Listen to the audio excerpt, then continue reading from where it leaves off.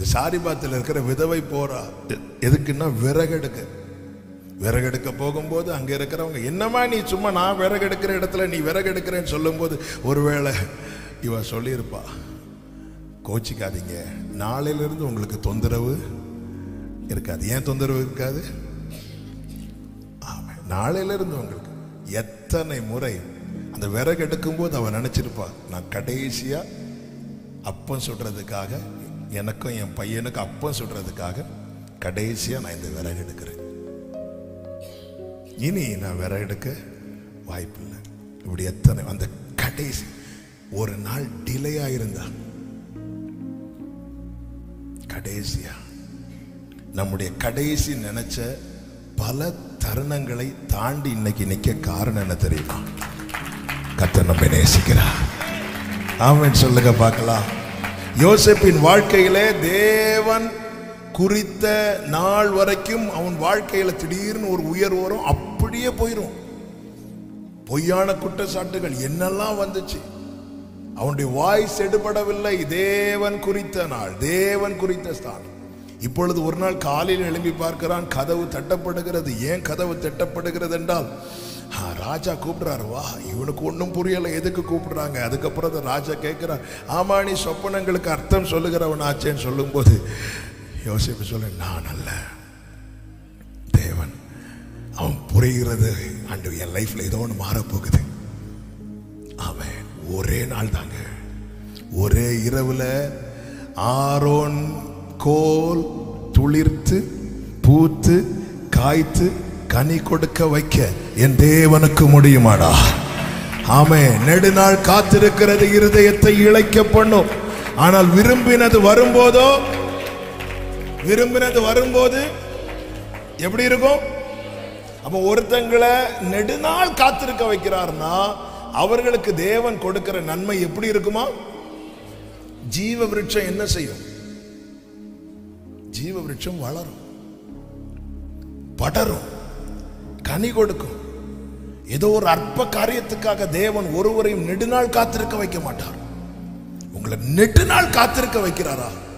உங்களுக்கு கொடுக்க போகிறது ஜீவ விருட்சமா இருக்கும். அது வளரும் அது படரும் அது கனி கொடுக்கும். யோசேப்பை பதிமூணு வருஷம் காத்திருக்க வைத்தார். ஒரு இரவு தாங்க சேஞ்ச் பண்ணிட்டார். அதான் பைபிள் ஆண்டருடைய செயல்கள் வந்து அது நம்ம வந்து வ- அது வர்ணிக்கவே முடியாது.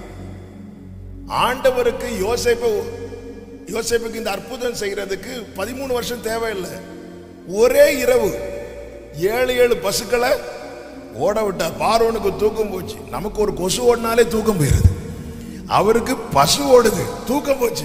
அவ்வளவுதான் எளிமையை நிற்கிறார் அதாவது உனக்குரியது தேவன் தருவது அதுதான் சொல்றேன். இங்கே கேட்கிறார் யோசிப்பு வருகிறான். யோசேப்பு இந்த காலத்துல யோசேப்ப வாழ்க்கையில் என்ன வந்துச்சு என்ன போச்சுங்கிறத பார்க்கறது உலக பார்வை. ஒரு ஆவிக்குரிய பார்வை என்ன தெரியுமா? யோசிப்பு கத்தர் எப்படி உருவாக்கினார். பதினேழாவது வயதில் யோசிப்பு சொப்பனம் சொல்லுகிறவனாய் மட்டும்தான் இருந்தான். இருபத்தெட்டாவது வயதில் சொப்பனத்துக்கு அர்த்தம் சொல்லுகிறவனாய் மாறுகிறான். நான் என்ன சம்பாதித்தேன் என்பதையும் கடந்தது நான் எப்படி உருவாக்கப்படுகிறேன் என்பது. பதினே ஏன் பதினேழாவது வயசுலயே சொப்பனம் சொல்ற பார்க்கிற கிஃப்டையும் சொப்பனத்துக்கு அர்த்தம் சொல்லுகிற கிஃப்டையும் கர்த்தருக்கு கொடுத்திருக்க முடியுமா முடியாதா?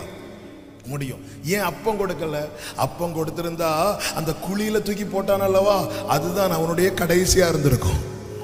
யோசிப்பு வேற பாவம். உள்ளதை அப்படியே போய் சொல்கிறவர் அண்ணா நான் இப்படி ஒரு சொப்பனம் பார்த்தேன். ஆ என்ன நீங்கள் குழியில் தூக்கி போடுறீங்களா? அதுக்கப்புறம் நான் வந்து எகிப்துக்கு என்னை கொண்டு போகிறாங்களா அங்கே நான் உயர்த்தப்படுறேன்னா நீங்கள்லாம் என்கிட்ட வந்து ஆகாரம் வாங்குறீங்களா? இரு வா. உன குழியில இது தூக்கி எடுத்தாதானே சில காரியங்களை வெளிப்படுத்த வேண்டிய நேரத்தில் தான் கத்தர் வெளிப்படுத்துவார்.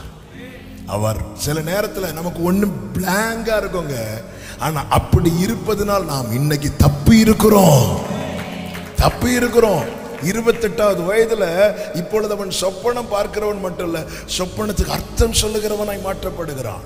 முப்பதாவது வயதுல அர்த்தம் சொல்லிட்டு அதை எப்படி நடப்பிக்க வேண்டும் என்கிற ஆலோசனையும் கொடுக்கிறான். இந்த ஆலோசனை கொடுத்த போது பார்வன் சொல்லுகிறான் யோசனை யோசேப்பு சொல்றான் என்ன நீங்க வைங்கன்னு சொல்லலை.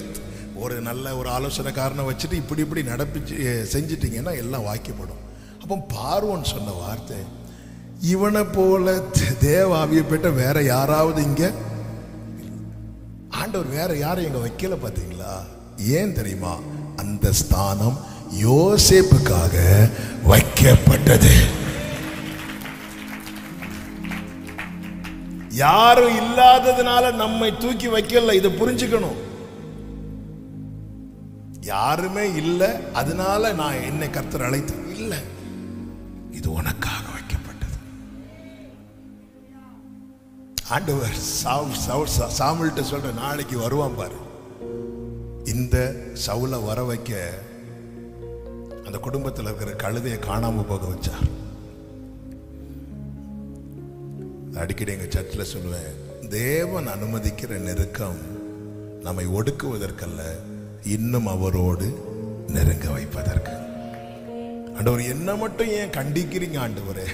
உனக்கு நியமித்த ஸ்தானத்தில் நீ வந்து நிற்கணும் அதுதான் தாவிது சொல்லுகிறார் என்னுடைய உயர்தலத்தில் என்னை நிறுத்துவார் இப்போ இஸ்ரவேல் ஜனங்களை பாருங்க செங்கடலுக்கு முன்னாக வந்துட்டாங்க காலடி தெரியவில்லை ஆனால் இதற்குள்ளே ஒரு பாதை இருக்கிறது. அவன் வேதம் சொல்லுகிறது குருடரை அவர்கள் அறியாத பாதையில் நடத்தி தெரியாத வழியிலே கொண்டு போய் அவர்களுக்கு முன்பாக இருளை வெளிச்சமும் கோணலை செவ்வையுமாக்குவேன். இந்த காரியங்களை நான் செய்து அவர்களை கைவிடாதிருப்பேன். ஆமே என் தாசனை அல்லாமல் குருடன் யார்? அடுத்து கீழே சொல்ற. அப்ப ஒரு காரியம் தெளிவாய் தெரிகிறது. அவன் குருடன் என்று கர்த்தர் வேதம் எதை காண்பிக்கிறது என்றால் கண்ணு தெரியாதவங்களை இல்லை பாதை தெரியாதவங்க. நமக்கு தெரிஞ்ச பாதையில கர்த்தர் நடத்த நம்ம தேவனுக்கு ஆலோசனை சொல்லுகிறோம். ஆலோசனை என்னென்ன? ஜெபத்தில் ஆண்டவர் இப்படி நடத்துங்க இப்படி செய்யுங்க. ஆண்டவருடைய வழிகள் என் நினைவுகள் உங்கள் நினைவுகள் அல்ல. நமக்கு தண்ணீர் வேண்டும். நம்ம எதுக்காக ஜெபம் பண்ணுவோம்? கரெக்டா சொன்னீங்க. எதுக்காக ஜெபம் பண்ணுவோம்? மழைக்காக. நான் எதுக்காக ஜோம் பண்ணியிருக்கணும்? தண்ணீர் வேணும் அப்போ நம்ம மழைக்காக ஜெபம் பண்றோம்னு ஆண்டவருக்கு ஆலோசனை தானே கொடுக்குறோம். ஆமாம் நான் சொல்றது எத்தனை பேருக்கு விளங்குதுன்னு தெரியல. நம்முடைய ஜெபத்தில் ஆண்டவருக்கு ஆலோசனை கொடுக்கிறோம். அவருக்கு ஆலோசனைக்காரனாக இருந்தவன் யார்?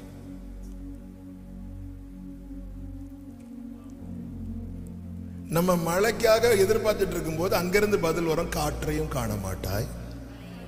மழையும் காண மாட்டாய். உனக்கு தண்ணி தானே வேணும்?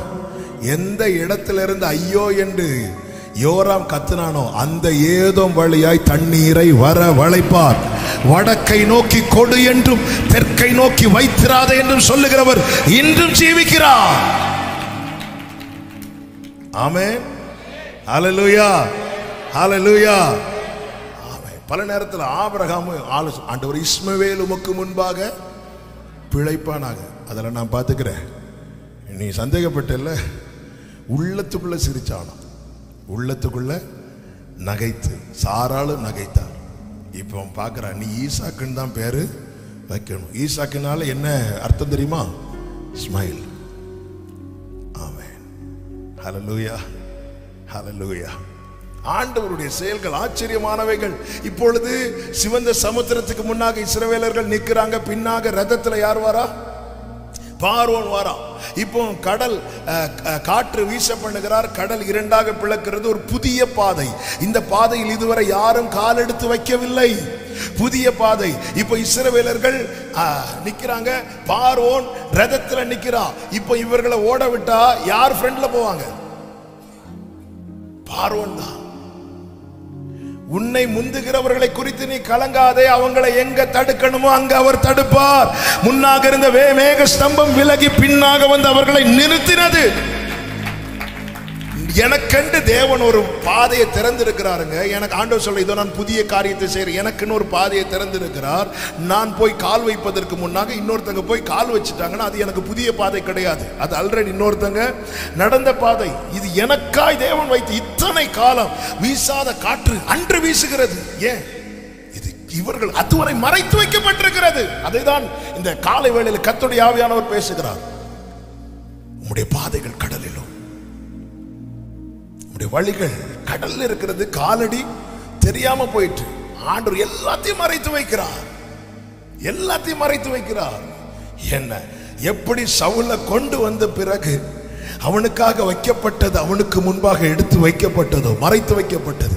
அதே போல இஸ்ரவேலரை அவன் எகிப்திலிருந்து கொண்டு வந்து நிறுத்தி அதுவரைக்கும் இந்த பாதை மறைத்து வைக்கப்பட்டது.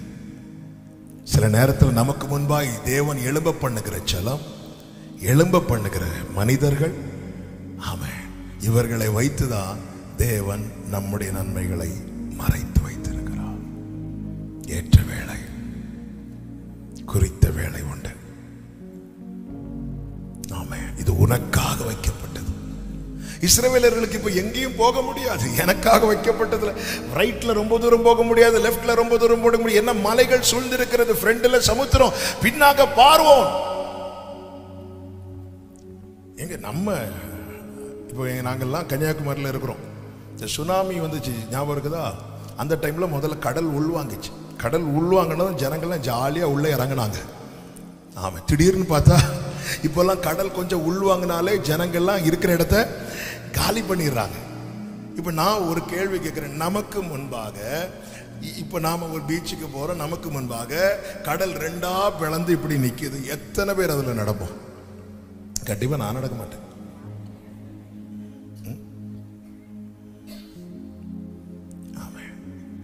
இவங்க நீ நடந்துதான் ஆகணும். என பின்னாடி யார் நிக்கிறா? ஆமாம். அவர் நாம அவருடைய பாதையில் நடந்ததனால் வரல அவர் நடத்தினதுனால வந்திருக்கிறோம். நடந்துதான் ஆகணும். ஆலலூயா ஆலலூயா ஏமே ரெகோபோத்துக்கு ஈசாக்கு எப்படி வந்தார்? கொஞ்சம் பேர் எழும்புனாங்க. இல்லைன்னா ஏசேக்கில் நின்றுப்பார். ஏசேக்கு ஈசாக்கு உண்டாக்கினது. சித்துனா ஈசாக்கு உண்டாக்கினது. ரெகோபோத் கர்த்தர் அவனுக்காக உண்டாக்கினது உனக்குரியது உனக்கு தான் ஆமே இந்த ஏசேக்கில இருந்து சித்தனாவில இருந்து ரெகோபோத்துக்கு ஈசாக்கு எப்படி வந்தா ஆமே கர்த்தர் கொண்டு வந்தா அவன் யார் எத்- சிலர் அப்படி விரோதமாக எழும்புறாங்க. ஆனால் ரெகோபத்துக்கு வந்ததுக்கு அப்புறம் அத்தனை பேர் வந்து சால்வானாங்க சமாதானம் ஆனாங்க பார்த்தீங்களா உனக்கான ஸ்தானத்தில் உனக்கான இடத்துல இன்று நீ சந்திக்கிற பிரச்சனை எல்லாம் அது வரைக்கும் தான். அதன் பிறகு சிலர் இருக்க மாட்டாங்க சிலர் உங்க கூட சமாதானமாகும்படி செய்வார்.